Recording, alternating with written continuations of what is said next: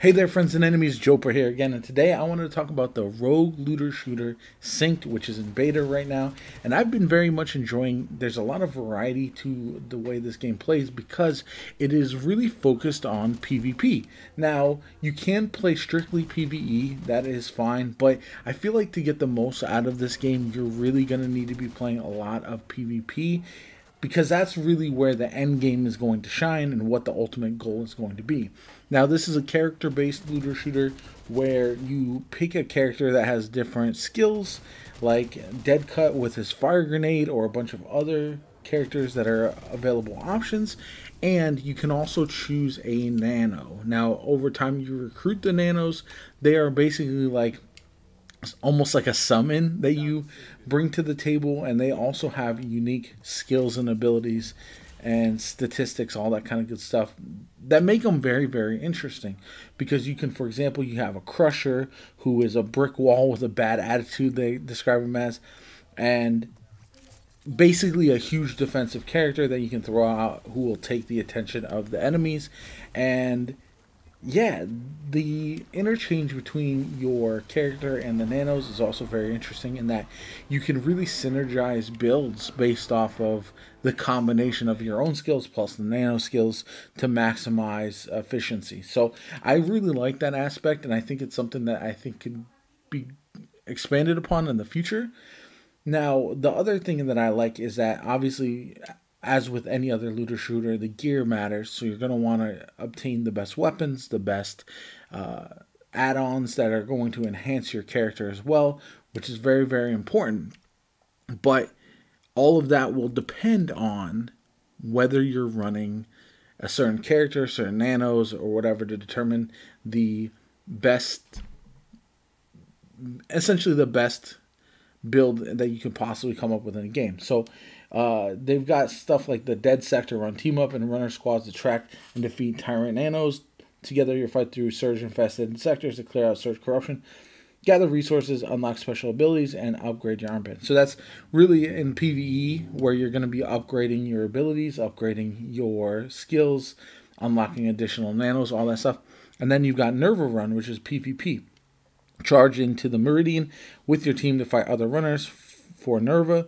Use your nano companions and special abilities to intercept harvesters, battle Goliaths, and eliminate rival runners before they eliminate you. Now, you actually extract in this mode, so you're going to want to get to an extraction point. And then the nice thing is that all of your abilities, all of your builds, everything carries over from PvE to PvP. Now, that's going to lead to one giant question on how they balance things for both, right? How do things put in the game be really strong and feel really powerful in PvE, but not be broken in PvP. So that's something that I think we'll see over time because there's definitely some characters and some nanos right now that are far stronger in one or the other. And if it stays like that, it's going to be hard because you're going to want to have a playstyle that's kind of different for both. And that's something that maybe it'll meld more in the future, but that's just something that I've seen so far. Now, one of the nice things about this game too is that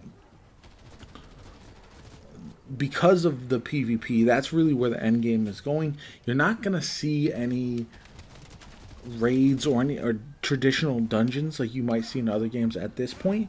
Uh, but you're still going to be able to have an end goal because I think end game is where these looter shooters struggle, and you need either PvP quality raids, quality dungeons, horde modes, something to keep the game interesting over the course of time, because otherwise they will not keep everyone's attention long term. So you do have upgraded upgradable mods, you got weapon mods, all kinds of good stuff that you can level up as the time goes on and I find it, like I said, I find it very interesting the way this game works. And the gameplay that you're seeing is pretty basic initial gameplay. Like I said uh, on stream when I was playing a little bit, I am on my laptop, so I can't really uh, record all of my footage. It's been a little bit of a, a, problem. I've been playing PvP, but I haven't been able to record it, so that's why you're going to see just some base level gameplay in the background here.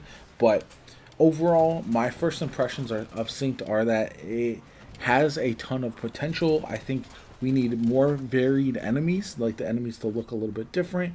We need uh, consistent updates with the nanos and new characters, and we need variety, varied game modes so that way uh, not only are you jumping into PvE or PvP, but you can kind of jump into different types of modes within that as well for different types of rewards, different kind of gameplay loops, because otherwise the game can get fairly boring. Now that this is just a beta, so there is still a long time before we see the end result of this game.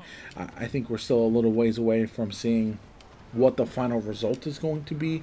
It is supposed to come to console. That's one concern I've had is controller gameplay doesn't feel super great at this point, but I think for a lot of people uh, who play on PC, that's not going to really matter too much and maybe a benefit, to be honest. But uh, hopefully, by the time it does come to console, uh, First Descendant had the same problem where it just feels a little clunky on controller compared to a mouse and keyboard. So, hopefully, by the time it comes to console, it does correct that a little bit as well. So, other than that, uh, those are my initial impressions of the game. Why I'm excited, cautiously optimistic though, because this is a game that, while it could be very, very good, uh, we're gonna have to wait and see how the gameplay loop works, how quickly you can level up your gear, how broken certain things are, you know. And once you figure all that out, you'll see where the game can go in the long term. But my name is Jopa. I hope you enjoyed the video. If you want to see more sync content from me in the future, like the video, subscribe to the channel for sure and I'll be posting more as I play more in the beta and also once it does move towards the full release. I hope you have a good one, and I'll catch you all later.